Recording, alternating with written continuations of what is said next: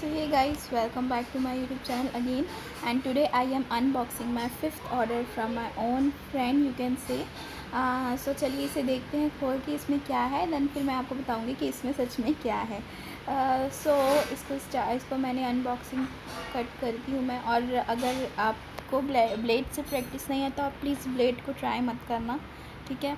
और ये इसमें से कुछ कुछ चीज़ें निकल रही हैं।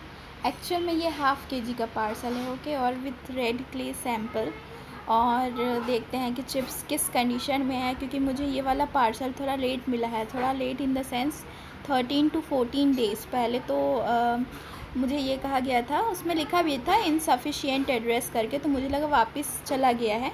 बट डिलीवरी बॉय आया एंड वो मुझे ये पार्सल देकर गया। सो uh, स्टार्ट so करते हैं इसको अनबॉक्सिंग करना। ऑल कलर चिप्स हैं ये। ऑल कलर चिप्स एक्चुअली मैंने थोड़ा गलती कर दिया इस पार्सल को ऑर्डर करके बट एनीवे anyway, मैंने भी कुछ सोच के ही किया था। पहले मेरा ये वाला पार्सल आना था देन टू के जी वाला पार्सल आना था बट वो पहले आ गया एंड ये आ, लेट हो गया ओके सो हम इसको अनबॉक्सिंग करके देखते हैं। अभी मैं इसको प्लेट में रख के आज पूरी रात नाइट में अनबॉक्सिंग कर रही हूँ तो आज मैं पूरी रात इसको ओपन एयर में रखूँगी एंड देन कल पूरा टेस्ट करूँगी कि इसका टेस्ट कैसा है किस तरह है ओके सो so, ये था ब्लैक चिप्स है ये। देखते हैं किस कंडीशन में अभी तो ठीक ही दिख रहा है। होप सो टूटा ना हो।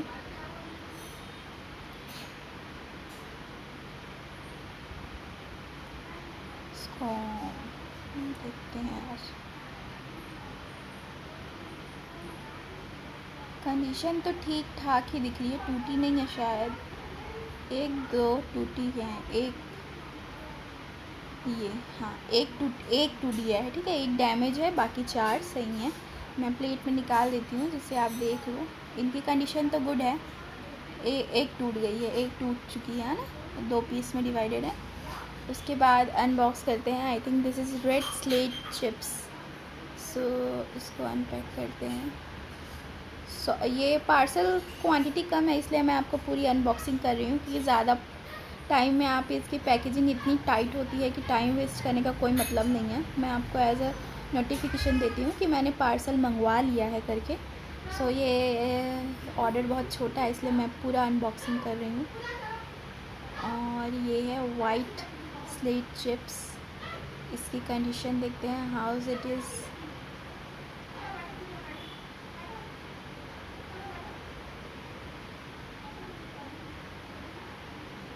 I think इसकी भी कंडीशन ठीक है बढ़िया है.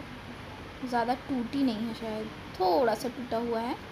एनीवे anyway, इसका कोई दिक्कत नहीं है क्योंकि इंडियन पोस्ट में मैं आई डोंट थिंक सो मैं तो ऑर्डर करते ही साथ सोच लेती हूँ कि ठीक है, आ गया तो बढ़िया वाला। सच कह रही हूँ, उसमें कोई दिक्कत नहीं है। बाकी इस कंडीशन में भी मुझे मेरा पार्सल मिल रहा है तो मैं बहुत खुश हूँ भाई, क्योंकि थोड़ा ना थोड़ा डैमेज तो होता ही है, क्योंकि वो उनको पता थोड़ी रहता है कि इसमें क्या है, कैसा है। वो तो बस अपना काम करते फटाफट, जैसा काम हो जाए वैसा वाला रहता है। So this is red slate chips इसकी कंडीशन क्या है, मुझे नहीं पता, क्योंकि ये देखने में तो ऐसा लग रहा है कि शायद ही कुछ बचा होगा। ये सी बचा है बचा है। थोड़ा बहुत बच गया है। देखते हैं।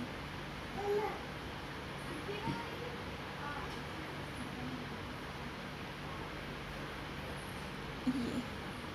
ठीक है ठीक है। बच गया है। टूटा हुआ है ब्रोकन है। ऐसा नहीं है कि एकदम साफ़ सुथरा मिला है। ब्रोकन है ये। बाकी क्वालिटी तो आप देख ही सकते हैं कैसी है क्या है। मैं प्लेट में सबको और ये ऐसे ही रात में रहेगी पूरी रात भर ऐसे ही रखी रहेगी।